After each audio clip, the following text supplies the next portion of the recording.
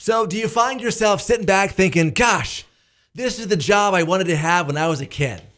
Um, this is a job I wanted to have when I graduated high school and declared a major officially.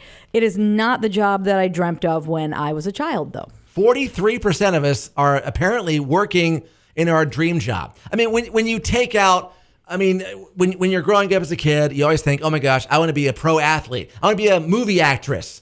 Um, you know, be a super celebrity. Right. But but then the reality sets in that uh, that not everyone is going to be able to do that. Then you have like a backup.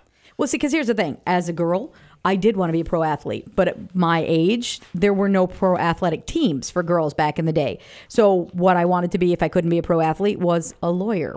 And Okay. yeah, clearly not that.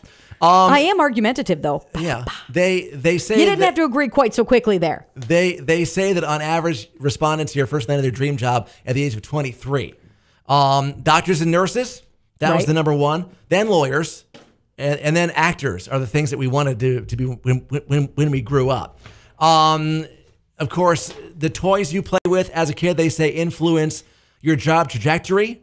Okay. Um, kind of guide you into into a direction there. I don't think that's true for Um, me, but okay, to each their own. 77% of people watch how their kids play um, as an indicator as to what their future jo- job may be. 71% of people believe uh, said that said they have a pretty good idea of what their career uh, that their kid may be uh, by looking at them and watching them play and everything else. So I would play with Legos and build houses, and all my Barbies would sleep in them naked, and that's what led me to radio. Is that what you're telling me? Apparently so. Mm, What did you play with other than a baseball?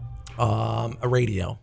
well, that explains a lot about. That's not a toy, though. No, Didn't you have like? You're really old Lincoln Logs. really old.